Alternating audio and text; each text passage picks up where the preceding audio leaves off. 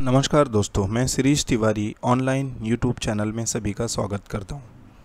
दोस्तों, आज मैं आप लोगों को सॉर्टिंग की कुछ ट्रिक्स बताने वाला हूँ।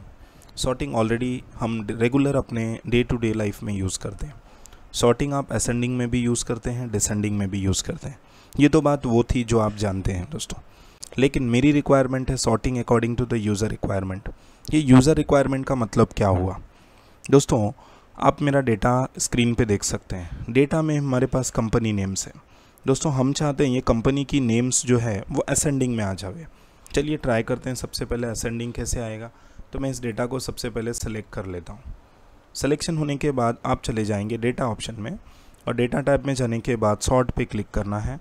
यहाँ से दोस्तों ध्यान रखना है, आपका ये माई हेडर ऑप्शंस जो है माई डेटा हेडर्स ये यस होना चाहिए। अगर ये ऑप्शन यस नहीं है तो मे भी हो सकता है कि आपके यहाँ पे column A B C D ऐसे आएँगे। टू प्रवेंट दैट आप इसे ऑलरेडी ऑन कर लीजिए। ऑन करने के बाद हम चलते हैं कंपनी लिस्ट में, और कंपनी लिस्ट में मैंने यहाँ से ले लिया ए टू जेड जैसे ही मैंने ए टू जेड कर लिया तो आप देखिए कंपनी की लिस्ट ए टू जेड आ गई। चलिए इसी को एक बार रिवर्स करके देखते हैं। वापस से मैंने शॉर्ट पे क्लिक कर दिया कंपनी नेम्स लिया, और इसे मैं जेड टू ए कर देता हूँ। दैट इज़ डिसेंडिंग ऑर्डर्स देखिए, अब कंपनी के नेम्स किससे आ गई? डिसेंडिंग ऑर्डर्स में करेक्ट दोस्तों, मेरी रिक्वायरमेंट ये है कि अब मैं डेटा चाहता हूँ, लेकिन ये ये सॉर्टिंग ऑर्डर में।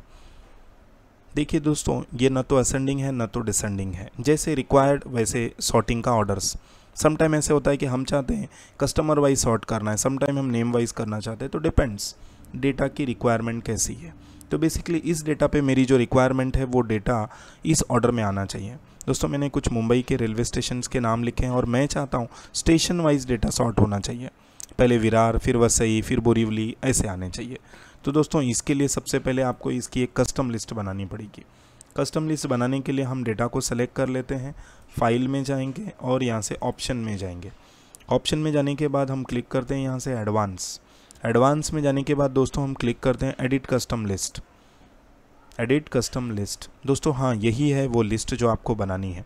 एडिट कस्टम लिस्ट में जाने के बाद इंपोर्ट करनी है और ऐड कर देना है। ऐड करने के बाद आप ओके कर देंगे। जैसे कि मैं यहाँ पे लिस्ट में ऑलरेडी ऐड कर चुका हूँ।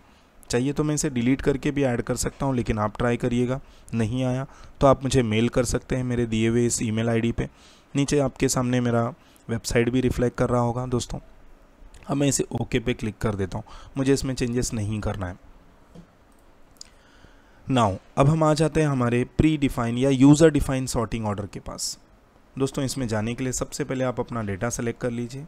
डेटा सेलेक्ट करने के बाद हम जाते हैं सॉर्ट में और सॉर्ट में जाने के बाद यहाँ से क्लिक करते हैं सेल्स एरिया सेल्स एरिया में जाने के बाद मैंने क्लिक किया वैल्यूज़ और वैल्यूज़ में अब मैं यहाँ से क्लिक कर देता हूँ custom list I repeat value में क्लिक कर देता हूँ कस्टम लिस्ट कस्टम लिस्ट में जाने के बाद आप क्लिक करिएगा।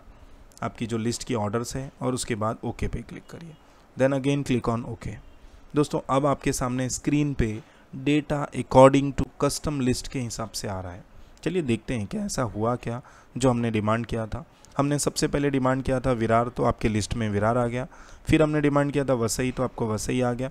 बोरीवली कहा था? बोरीवली आ गया। अंधेरी कहा था? So this is your list तो इस तरह से आप भी अपनी लिस्ट बना सकते हैं और अपनी लिस्ट के हिसाब से डेटा को सॉर्टिंग कर सकते हैं दोस्तों। दोस्तों, अगर इससे रिलेटेड आपके पास कोई क्वेरीज़ है या क्वेश्चन है तो आप मेरे ईमेल आईडी पे अपना डेटा सेंड कर सकते हैं, या मुझे आप कॉल भी कर सकते हैं। और नीचे मेरी एक वेबसाइट भी मैंने दी है, इसके ऊपर भी जा सकते हैं दोस्तों। दोस्तों, इसी के साथ आज का ये सॉर्टिंग का सेशन मैं क्लोज़ करता हूँ। जय हिंद, जय भारत।